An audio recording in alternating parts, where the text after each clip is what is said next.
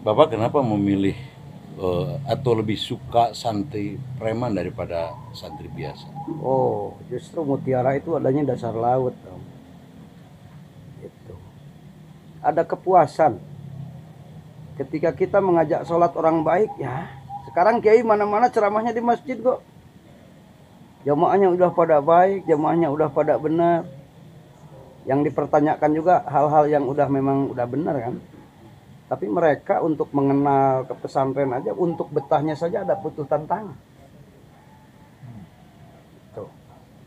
Butuh tantangan dan saya memang nyalinya nyali petarung. Iya iyalah. saya itu nyali petarung bukan bukan bukan kaleng-kaleng kita udah teruji.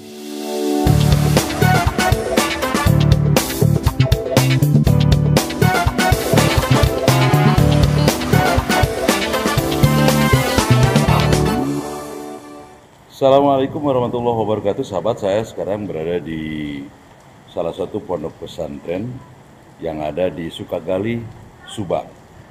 Pondok pesantren ini berada di daerah Sukagali, tepatnya di belakang Polresta Subang. Ada keunikan yang luar biasa, asuhan Kiai Mong Subang ini. Kita akan bongkar seperti apa keunikan dan eh, keluar biasaan dari pondok pesantren.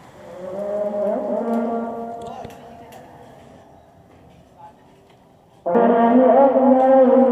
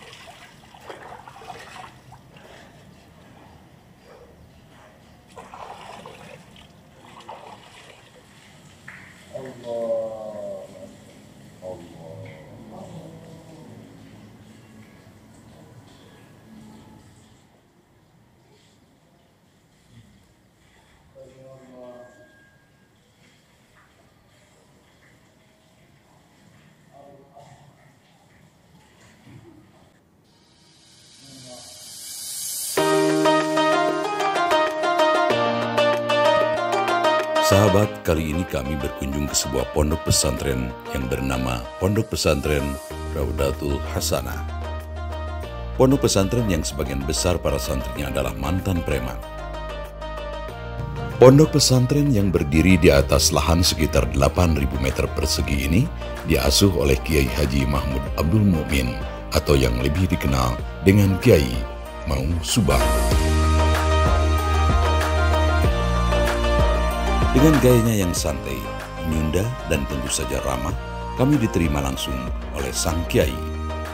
Kami diajak berbincang-bincang santai di kediamannya yang sederhana. Kediaman yang lebih pas disebut saung, berlantai panggung, serta berdinding bilik bambu. Namun sebelumnya, silakan like, komen, share, dan subscribe.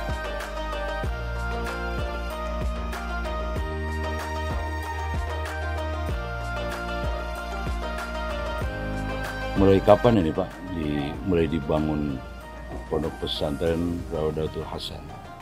Ini tahun 2002 merintis. Kita dari kontrakan. Tapi di sini, Ini belakang sini. Jadi kita ngontrak itu tiga kali karena kita nggak bisa bayar.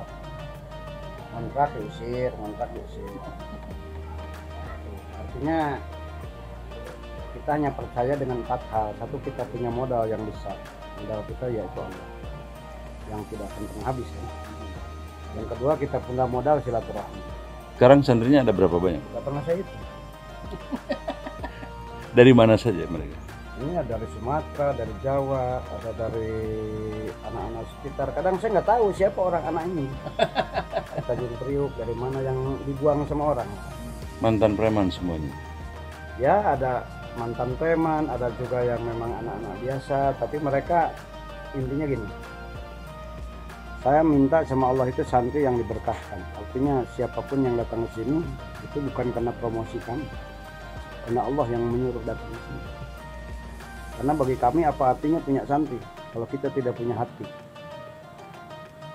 Dan untuk apa santri banyak kalau membuat kita takabur? Artinya di sini prinsipnya memanusiakan manusia, memahami manusia dan tidak merasa paling jadi manusia. Bapak kenapa memilih eh, atau lebih suka santri preman daripada santri biasa? Oh, justru mutiara itu adanya dasar laut, Om. Itu. Ada kepuasan ketika kita mengajak sholat orang baik, ya. Sekarang kiai mana-mana ceramahnya di masjid kok. Jamaahnya udah pada baik, jamaahnya udah pada benar. Yang dipertanyakan juga hal-hal yang udah memang udah benar kan. Tapi mereka untuk mengenal ke pesantren aja, untuk betahnya saja ada butuh tantangan. Tuh.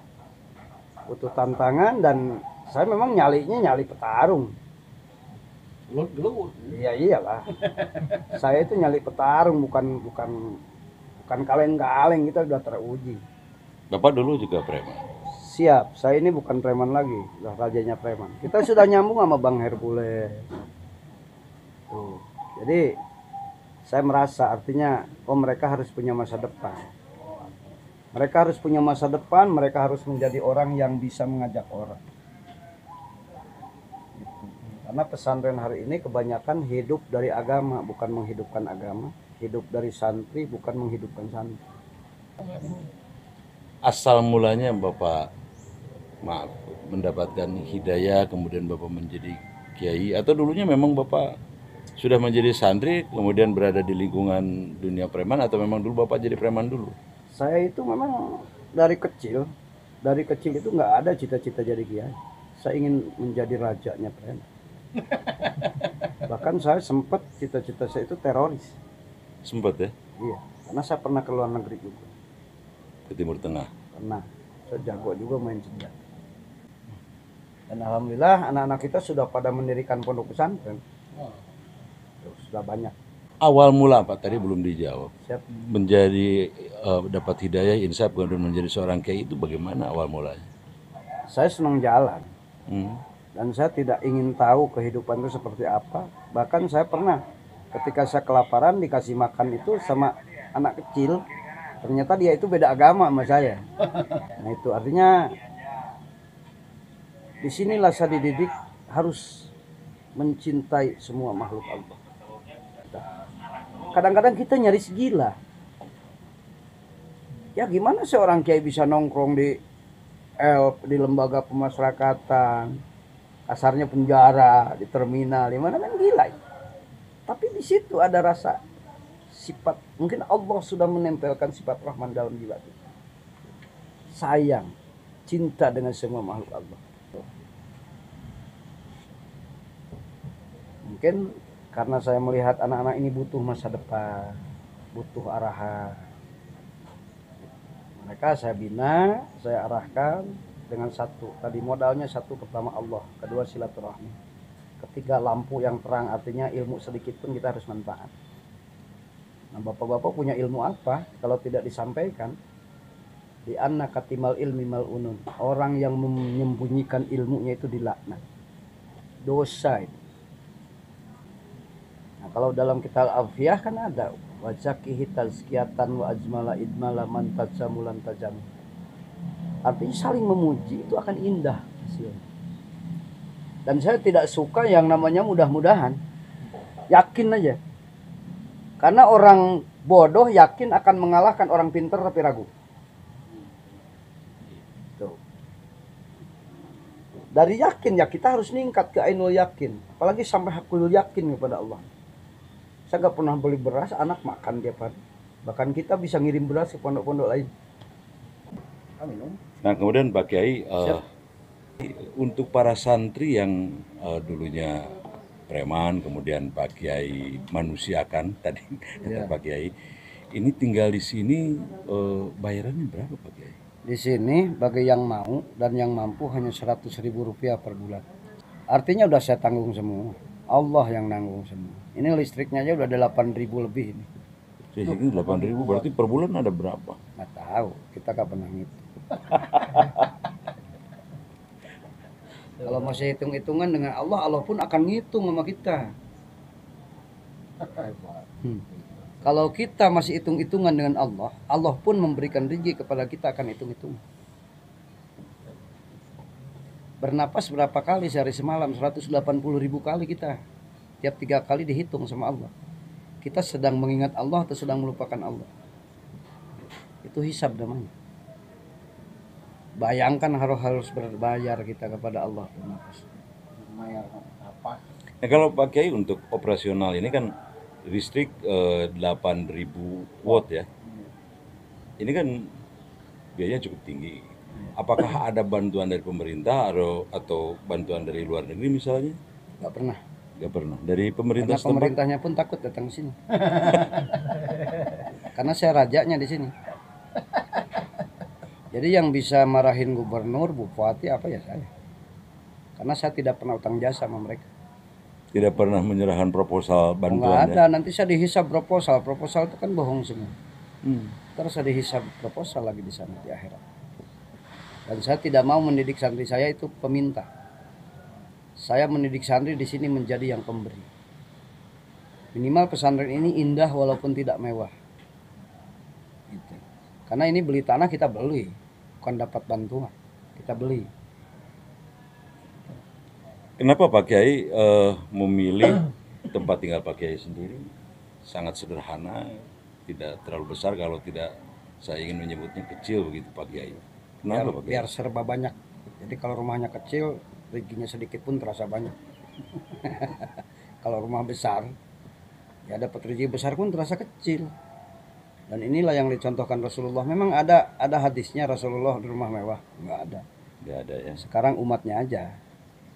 Umat Rasulullah sekarang ini kalau kata orang Sunda Pak alus-alus imah, lain Pak alus-alus iman. Jangan lupa like, komen, dan share ke semua media sosial agar semua tahu, dunia tahu kalau di Subang ada yang bernama Kiai eh, Maung Subang. Maung Subang dan eh, santrinya hampir 100% eh, mantan preman. Oke. 70% mantan preman dan Pak Kiainya juga mantan preman, rajanya preman. Demikian, jangan lupa like, comment, share, dan subscribe. Saya Beni Sahabat, wabillahi taufiq walhidayah, wassalamualaikum warahmatullahi wabarakatuh.